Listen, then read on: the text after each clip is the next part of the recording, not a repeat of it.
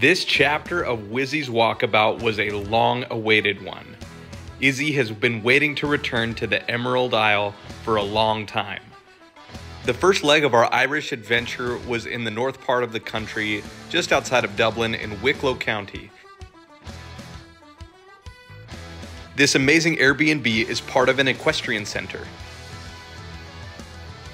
Dublin is an incredible capital city. It doesn't feel like a metropolis like some of the other places that we've visited.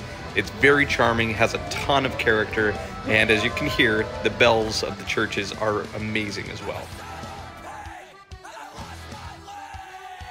Being the son of a builder, I quickly fell in love with the stonemasonry of Ireland. Dublin is a really walkable city. It's friendly to, to tourists. There's a lot to do, a lot to see. This is actually just outside of Dublin Castle. If a pub experience is on your Ireland bucket list, look no further than the Brazen Head.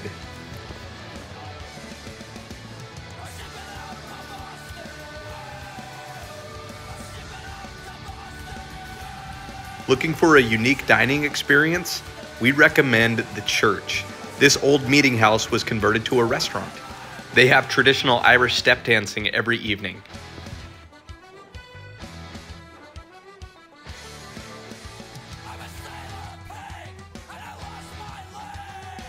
The Halfpenny Bridge spans the river in Dublin and is named because that was what the toll was back in the day, half a penny to cross.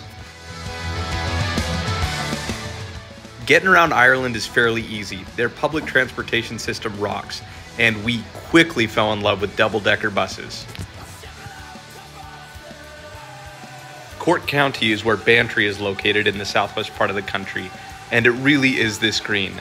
Tree tunnels line every single road. It's beautiful to get around here. Irish wool is a big deal. If you've got the budget for it, pop into one of these shops and pick up a sweater.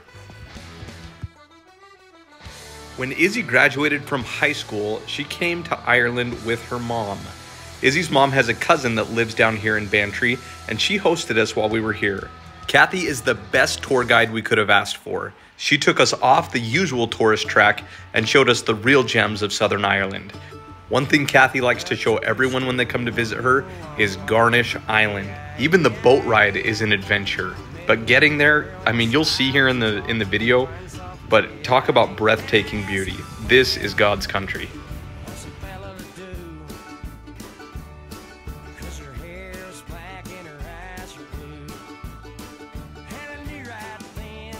The island is beautiful, but we were especially spoiled because the rhododendrons were in bloom.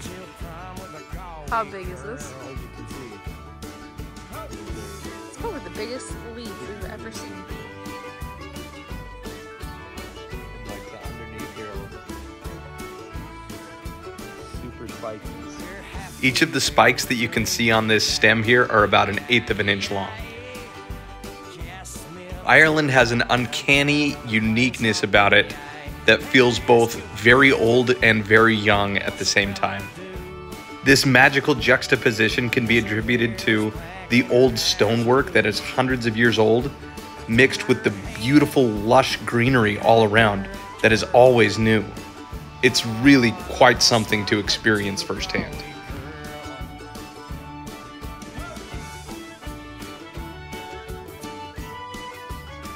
Garnish Island honestly could be called Neverland.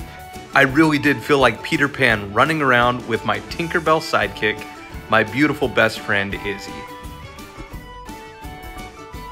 On one of our days with Kathy, she took us for a little road trip over to Kerry County. We stopped at this cute little music shop where, of course, the harpist took some incredible pictures and videos. Izzy loved this store almost as much as she loved the chocolate shop. Notice here how all the signs are in both Irish and English. We are walking Kathy's dog, Maisie. We're walking the south. It's pretty fun. We're walking the dog out there and. Honestly, the best thing that you will do in Ireland is to just stretch your legs and take a walk. You'll see incredibly cool old buildings like that.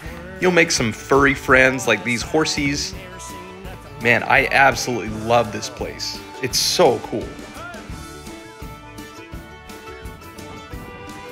If you're looking for a really unique walking experience, take the ferry from Bantry out to Whiddy Island.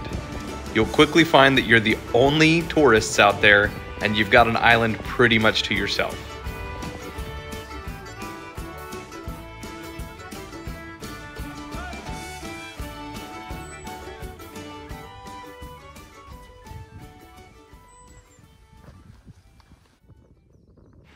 When I look at these cows shoulder deep in their favorite food, I just can't think of a better bovine life to live.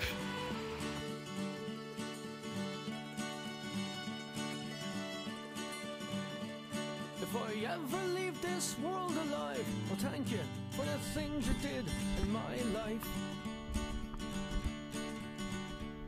If I ever leave this world alive, I'll come back down and sit beside your feet. Okay, I think you're starting to believe me when I tell you how beautiful this place is. But what you have to take my word for still is how amazing it smells. The greenery and the flowers just create this intoxicatingly sweet aroma. It's hard to describe, but it really is something.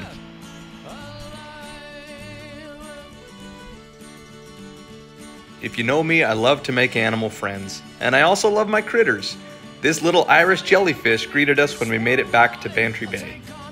On this voyage, Izzy has developed somewhat of an obsession for old cemeteries. We found the old Protestant cemetery in Bantry, and we had a day. Some of these graves dated back to the 1600s, and we even saw some iconic Celtic crosses in the graveyard. We also spent a few nights just outside of a small town called Durrus at a B&B run by a delightful retired British couple, Val and Martin. The peninsula that we stayed on was a walker's paradise, and Celtic ruins like this can be found everywhere. Where is Mount Corrin? Where are we headed?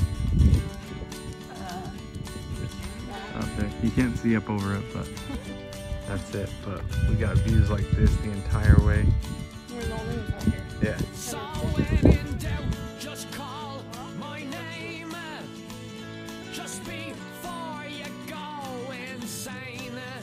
Spoiler alert, we didn't get zapped, but we made it to the top of Mount Corrin and we placed our stones on top of the cairn to mark our own personal voyage up here to this lovely hilltop. As we made our way up to the top of this hill and as we walked around the Irish countryside, I can just picture the generations and generations of Irish shepherds and farmers that have worked this land.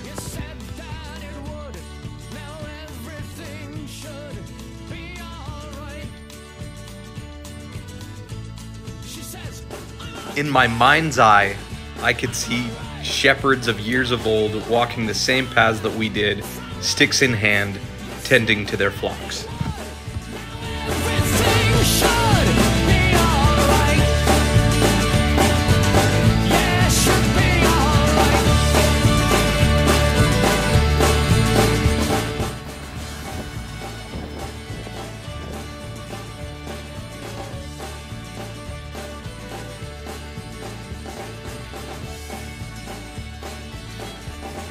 If the scenery here hasn't charmed you yet, the people most certainly will.